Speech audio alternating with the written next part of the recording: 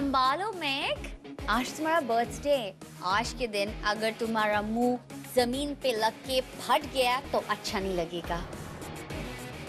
Happy birthday thank you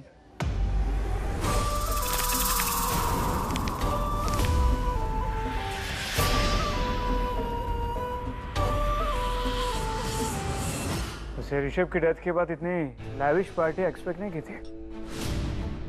Anyways happy birthday thank you ये party तो मुझे देनी ही थी। ये उनकी आखिरी विश थी। ओहो। आई अंडरस्टैंड मैं समझ सकती हूँ।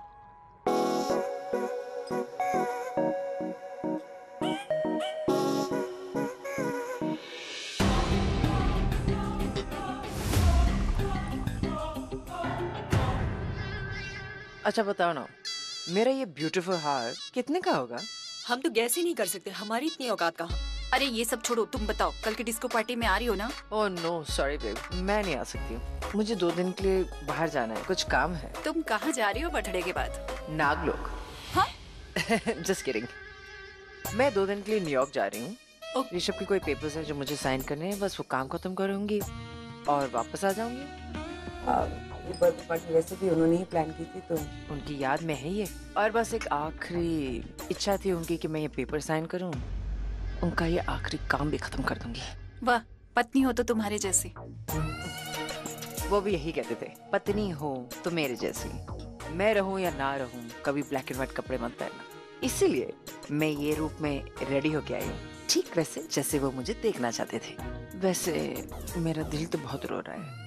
पर मैं वो आँसू किसी को नहीं दिखा रही हूँ। दिल में दर्द, होठों पे मुस्कान। एक नंबर की छुट्टी कही पे।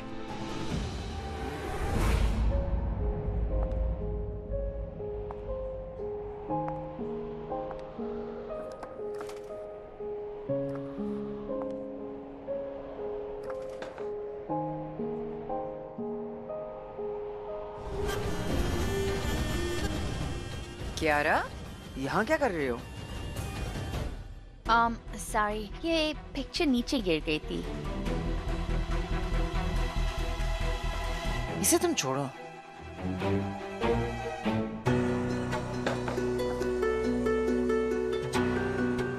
तुम चलो मेरे साथ मुझे तुम्हें कुछ दिखाना है। कहाँ? अम, तुमने पूरा घर देखा है? हाँ या। तुम्हें पता है इस घर में खुफिया रूम भी है। आज मेरे बर्थडे के दिन मैं तुम्हें इस हवेली का वो खुफिया रूम भी दिखाती हूँ। तुम इसे मेरे बर्थडे का बहाना ही समझ लो। हम्म? चलो ना कोर्स सब यहाँ सेलिब्रेशन में बिज़ी है। किसी को पता नहीं चलेगा कि मैं इस कियारा को लेकर उस शक्ति के कमरे में जाके पहन दूँगी। फिर उस जानवर को जो करना है इसके साथ वो करे।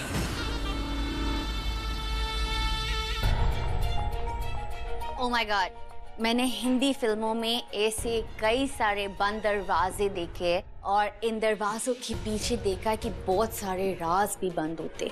मुझे ना इन बंद दरवाजे और इन बंद दरवाजे के पीछे के राज में ना बहुत ज़्यादा इंटरेस्ट है। रियली really, कभी कभी इन बंद दरवाजों के पीछे ऐसे राज होते हैं कि हमने कभी ऐसा सोचा भी नहीं होता। है इसीलिए ऐसे सारे राज ना हमें बहुत शौक कर देते you're right. चले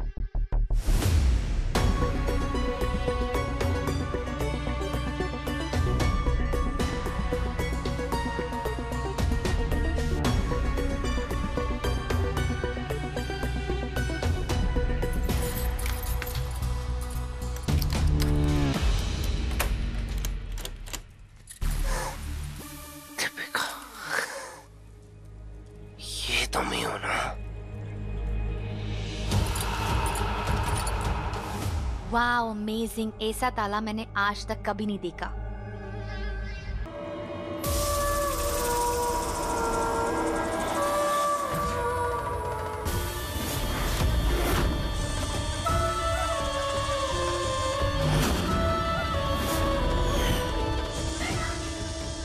तो इस खास पूर्णमासी की रात में चंद्रमा की रोशनी पड़ते ही इसका नागिन रूप सामने आ गया है। मेरा शक सही था। ये क्यारा नहीं ये प्रथा ही है।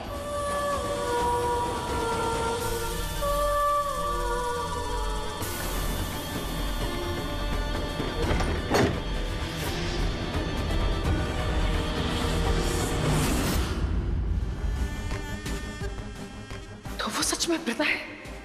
दैट प्रथा ज़िंदा है? क्या हुआ है? इतनी आँखें क्यों फाड़ रखी हैं तुमने? जो देखा बताऊँगी तो तू भी फट जाएगी। क्या देखा? ऋषि मैंने मैंने देखा कि कोई बात नहीं पहले केक काट लेते सब लोग केक कटिंग का इंतज़ार कर रहे हैं। तुमने जो देखा जो सुना बाद में बात करते हैं उसके बारे में। चलो बहुत लेट हो रहा है।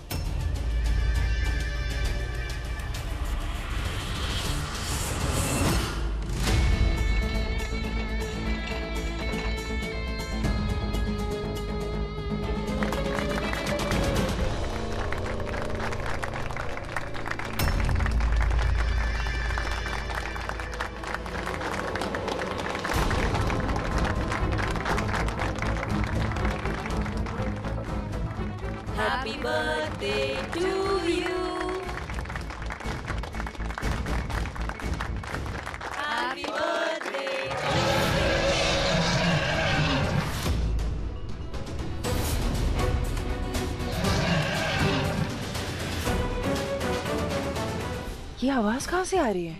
किसी जंगली जानवर के गुर्राने की आवाज़ लग रही है। ये आई ये आवाज़, ये सब ये सब प्रथा ही कर रही है।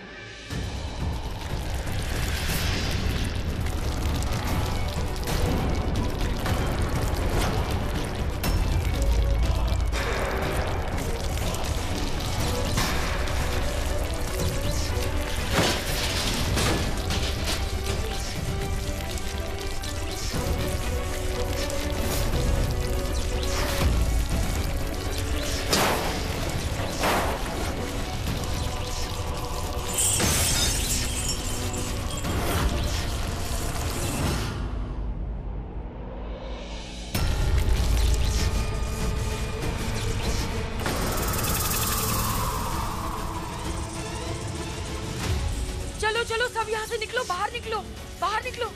आंधी तूफ़ान आ रही बाहर निकलो। चलो चलो चलो।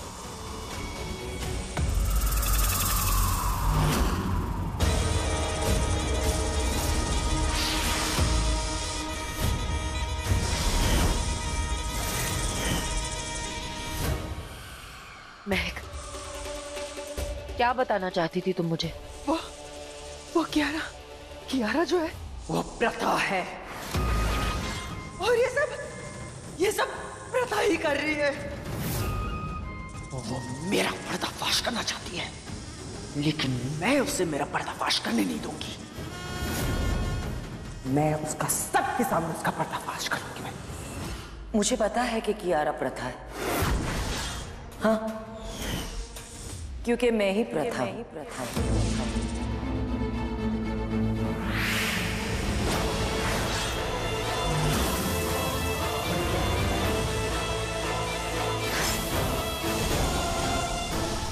महक, ये तो तुम्हारे लिए बहुत ही मुश्किल घड़ी है। प्रथा तुम्हारे सामने खड़ी है। वो वो लड़की, मैं, वो लड़की जिसको मैंने रूम में बंद किया था, वो वो कौन थी?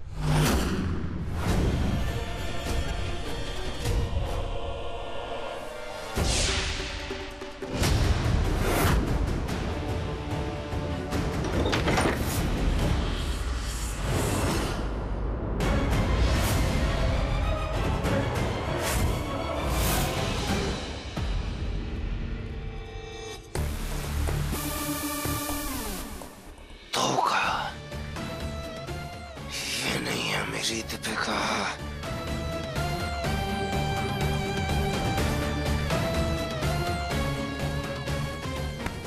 प्रथा ने कहा था, मैं उसका रूप लेके महक के साथ जाऊँ और पता लगाऊँ कि महक का प्लान क्या है। वैसे महक प्रथा को यहाँ क्यों लाना चाहती थी? यहाँ तो कुछ भी नहीं है।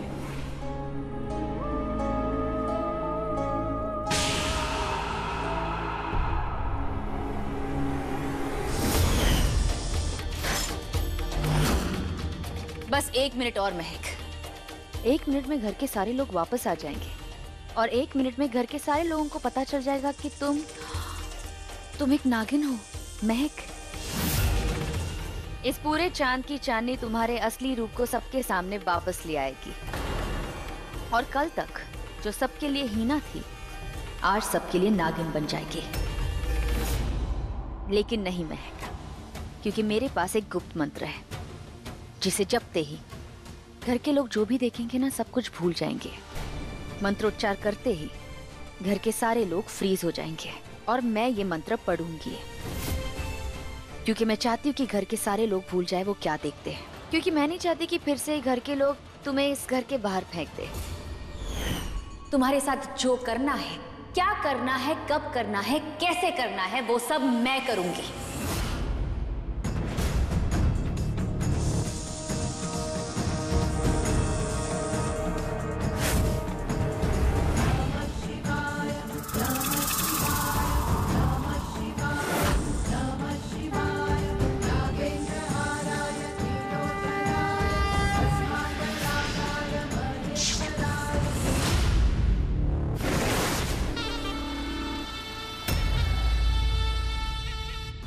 और हाँ महक, तुम्हारी सबसे बड़ी गलतफहमी मैं पहले दूर कर देती हूँ।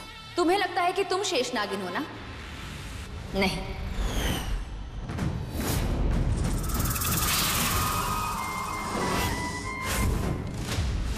नागिनों की नागिन शेष नागिन देख लो फिर से मेरा ये रूप।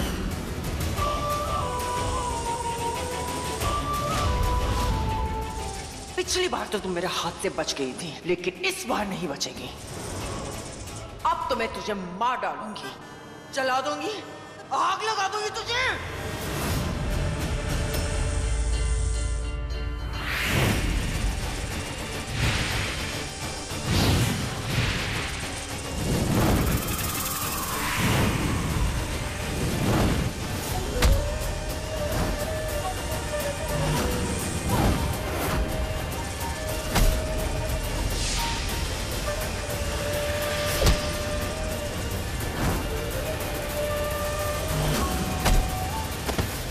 तुम बहन नहीं, तुम एक धोखा हो, धोखा।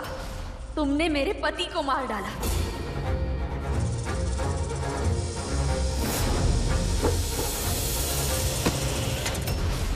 तुमने मेरे बच्चे को मार डाला।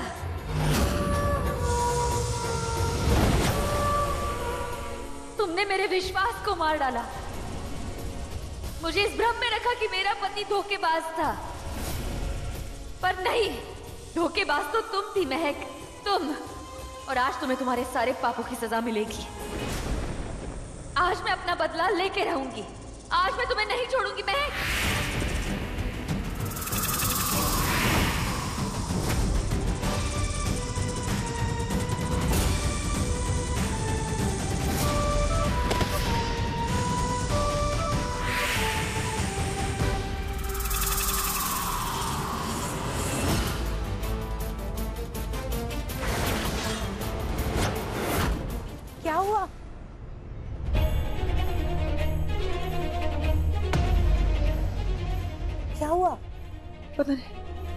कैसे अब मेरा पैर फिसल गया और मैं गिर गई। ज़्यादा चोट तो नहीं लगी ना? नहीं। चलो सब लोग वेट कर रहे हैं आपका बर्थडे सेलिब्रेट करने अरे आ, क्या हुआ? है क्या हुआ? वो प्रथा ज़िंदा है। क्या? और मुझे वो मुझे मार डालेगी मार डालेगी वो मुझे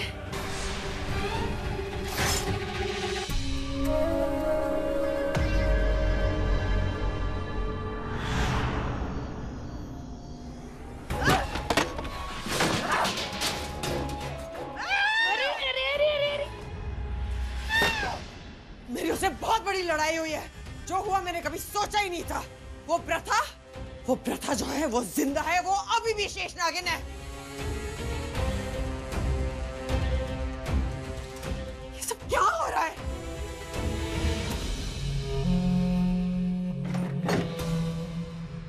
महक ये तो मैंने सोचा ही नहीं महक। तो क्या मैंने सोचा था? तुम जो बोल रही हो ये हो नहीं सकता। पर हुआ है। वो कियारा पे तो मुझे पहले से शक था और ये बात मैंने बोली भी थी। नहीं बोलनी चाहिए थी। वो कहते हैं ना कि अगर 24 घंटे में एक ही बात को बार बार दोहराई जाए तो वो सच हो जाती है? यही हुआ तुम स्टूपिड जो बात सच होती है वो सच ही होती है। लेकिन मेरा शक हकीकत में बदलेगा ये मैंने कभी सोचा नहीं था। और मुझे इतना बड़ा झटका लगेगा। अब मैं उसे देख लूँगी। और उसका एक ही रास्ता है। क्या? देखो मैंने कहा था ना शेष नाग की किताब में भी यही लिखा है। शेष नाग की शादी जिससे भी हो, वो शेष नाग रानी होती है। और वो शेष नागिन से भी ज़्यादा उसके पास शक्तियाँ होती हैं। वैसे नियम तो ये कहते हैं कि शेष नाग की शादी शेष नागिन से होती है।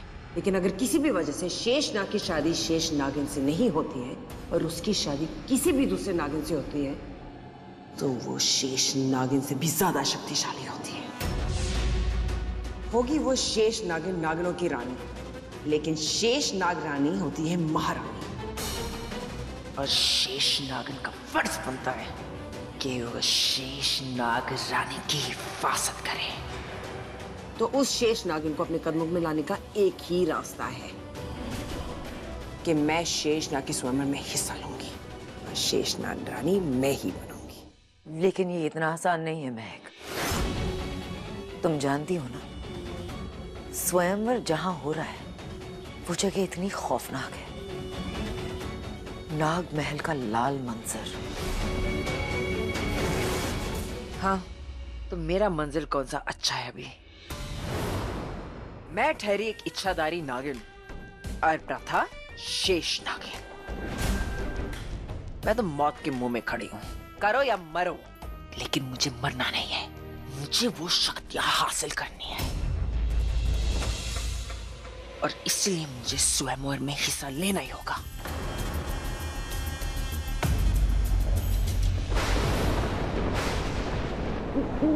जो ना आज से पहले किसी ने देखा होगा ना किसी ने सुना होगा। यहाँ पर हर छोटी से छोटी बड़ी से बड़ी बातों का ध्यान रखा जाएगा। स्वयंवर तो मैं ही जीतूँगी।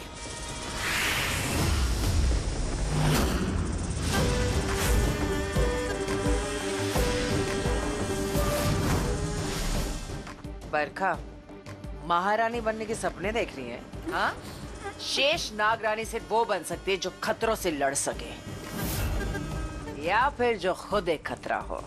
और वो मैं हूँ।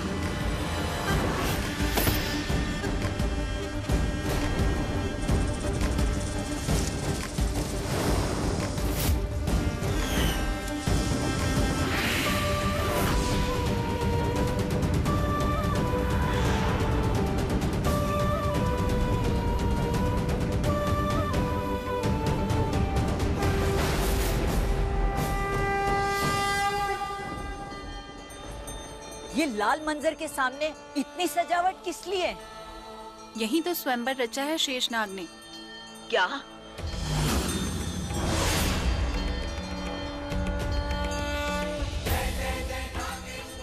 शेषनाग को नागिन दमयंती का प्रणाम। आओ दमयंती आओ। शेषनाग आपने अपना स्वयंवर उस लाल मंजर के पास आयोजित क्यों किया है? आप तो जानते हैं उस लाल मंदिर का। हाँ मैं जानता हूँ। पर मैं ये भी जानता हूँ कि शेष नागरानी वही बन सकती है जो खौफ में भी खुशी हासिल कर सके क्योंकि उसके हाथों में नागलोक का पूरा भविष्य होता है। अगर वही डर पे जीत हासिल नहीं कर सकेगी वो नागलोक की रक्षा कैसे करेगी?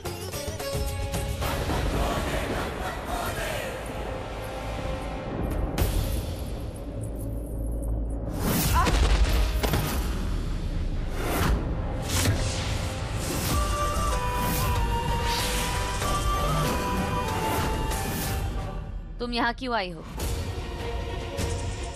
क्यों? ये नागमल जितना तुम्हारा है उतना मेरा भी है। तुम मुझे नहीं रोक सकती हो। ये शोर कैसा?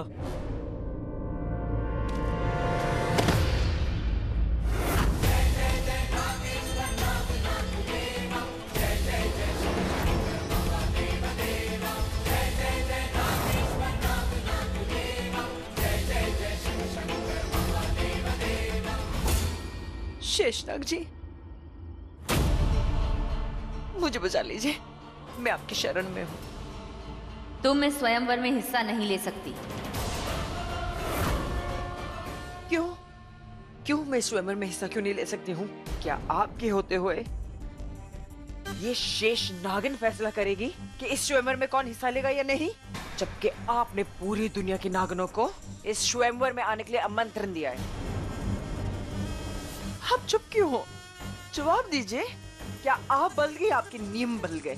शेष नागिन के लिए अलग नियम और हम हम नागिनों के लिए अलग नियम।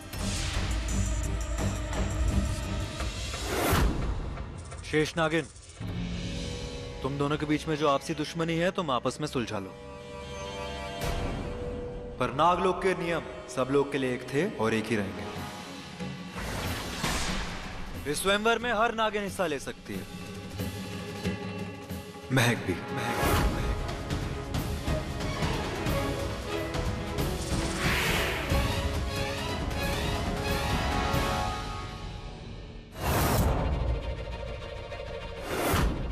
आज वो दिन आ गया है।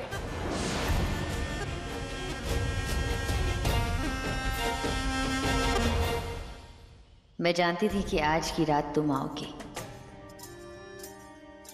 तुम जानती भी नहीं तुमने यहाँ आके कितनी बड़ी गलती कर दी है महक। अब तुम यहाँ आ तो गई हो, पर यहाँ से बच के जा नहीं पाओगी।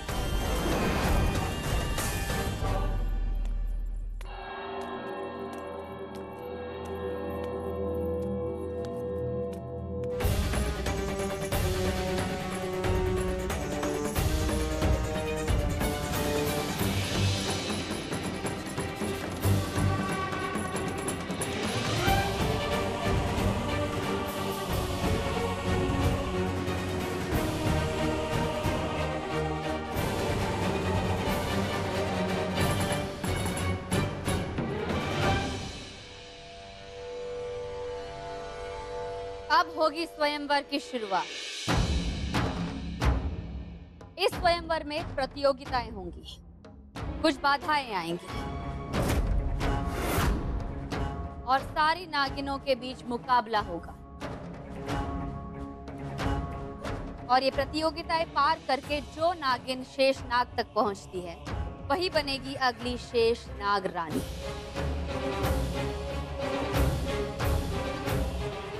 आज सदियों बाद फिर से इस नाग महल में गूंजेगा। शंखनाद।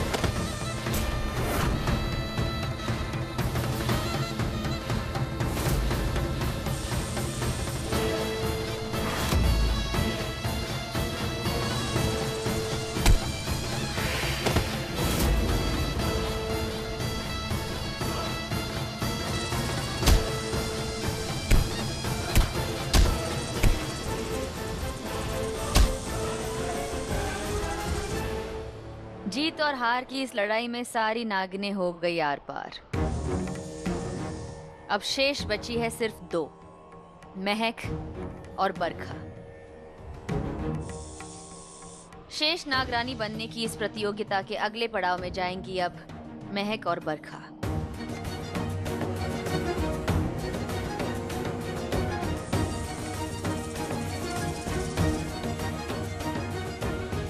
दूसरे पड़ाव का बुलावा। ये खौलता हुआ लावा।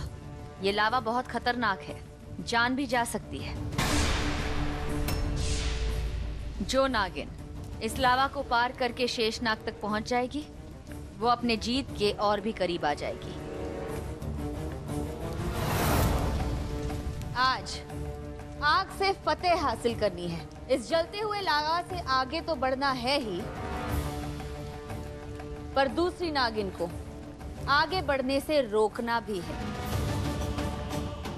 तो जो नागिन इस आग को पार नहीं कर पाएगी, वो इस प्रतियोगिता से बाहर हो जाएगी।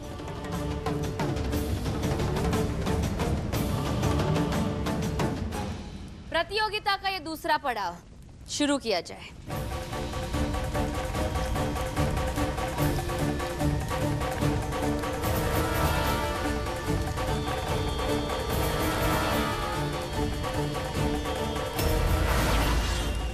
बरखा संभल के बरखा।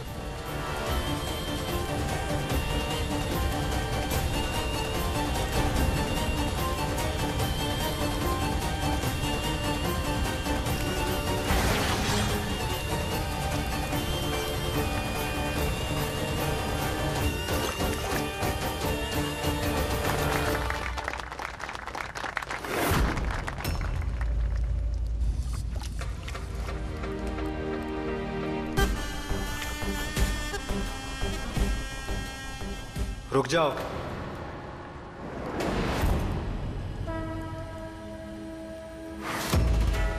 प्रतियोगिता अभी खत्म नहीं हुई है।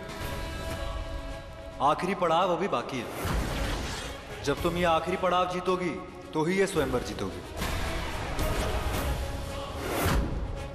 ये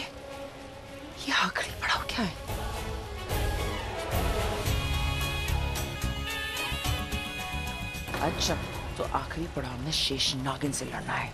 इसे तो मैं अपने पहले पैतरे से ही हरा दूँगी।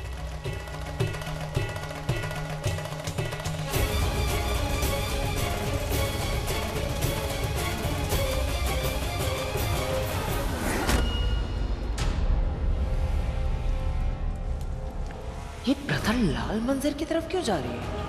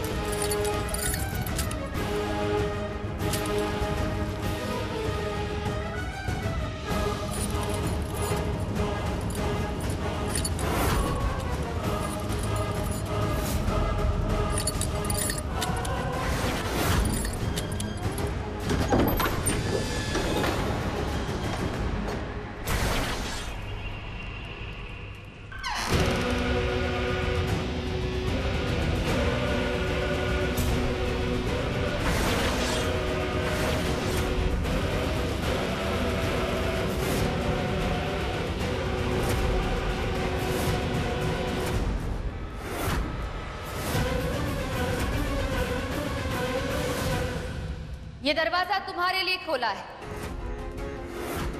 तुम्हें क्या लगा था? तीसरे पड़ाव में तुम्हारा मुकाबला मुझसे होगा? नहीं, महक। तुम्हारा मुकाबला है उस कहर से, जो जहर है, जो सौ सालों से इस लाल मंजर के अंदर कैद है। तुम्हारा मुकाबला है उस विनाश से, उस नाश से, नाशिका से।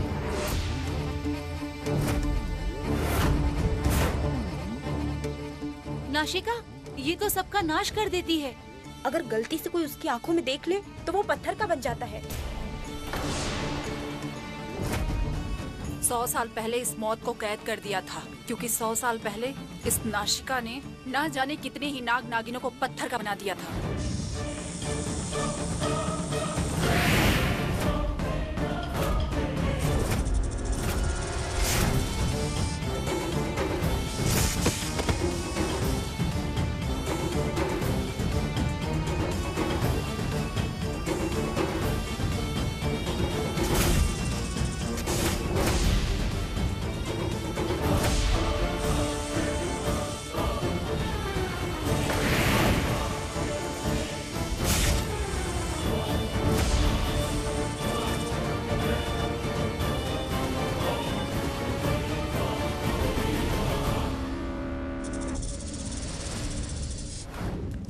पहले मौत से लड़ना है। महक, तुम अब भी पीछे हट सकती हो, महक। सोच लो। मैं? मैं पीछे हटने वाले में से नहीं हूँ।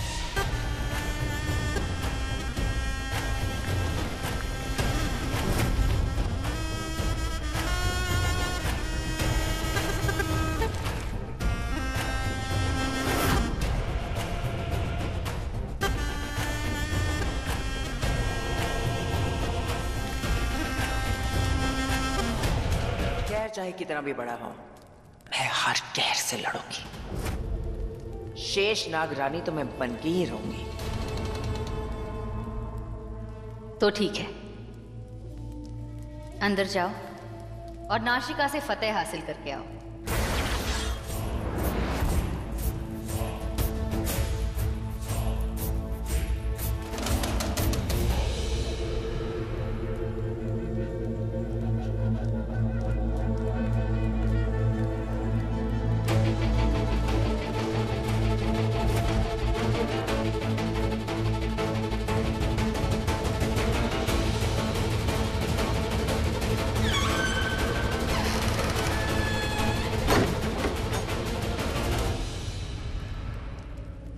तुम जानती हो मैं नहीं कर सकता। हमारी नागलोक की परंपरा है कि शेष नाग और शेष नागिन की जोड़ी होगी। तुम्हें ऋषभ से प्यार हो गया था। इसलिए मैंने नागलोक की परंपरा तोड़ते हुए तुम्हें शादी से आज़ाद कर दिया था और ब्रह्मचर्य का प्रण ले लिया था। अब मैं ये ब्रह्मचर्य प्रण नहीं तोड़ सकता, प्रथा। ऐसा ही प्रण मैंने भी लिया है कि मैं महक को उसके पापों की सजा दे के रहूँगी। पर उसके लिए मुझे आपका साथ चाहिए। मैं शेष नागिन हूँ। मैं चाहूँ तो एक पल में महक को मार सकती हूँ। पर मैं ऐसा नहीं चाहती। मैं चाहती हूँ कि मैं महक को ऐसी सजा दूँ कि उसकी रूह काँप उठे उसका शरीर पत्थर बन जाए और उस पत्थर के शरीर के अंदर उसकी आत्मा सदियों सदियों तक तड़पती रहे। जैसे मैं तड़पी थी मेरे बच्चे और मेरे प्यार के लिए। लेकिन अगर महक ये स्वयंवर जीत गई तो? वो ये स्वयंवर कभी नहीं जीत सकते क्योंकि उसका मुकाबला किसी साधारण नागिन से नहीं नाशिका से है।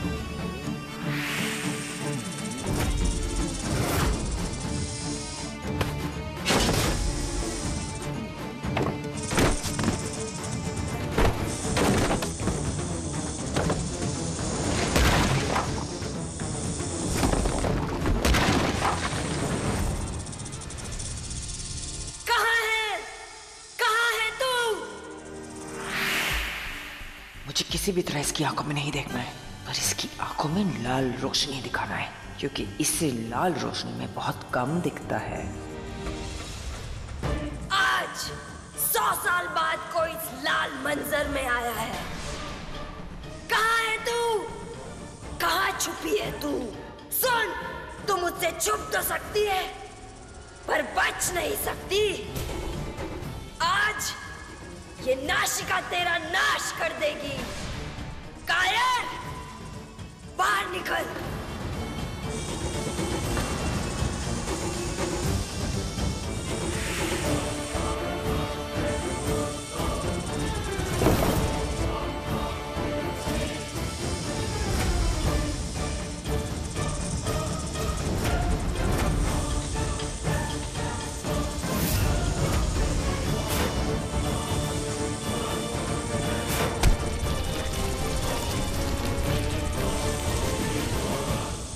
महक तुम्हें तुम्हारे अंजाम तक पहुँचाने के लिए ही मैंने ये खेल रचा है। अब नाशिका ही तुम्हारा नाश करेगी।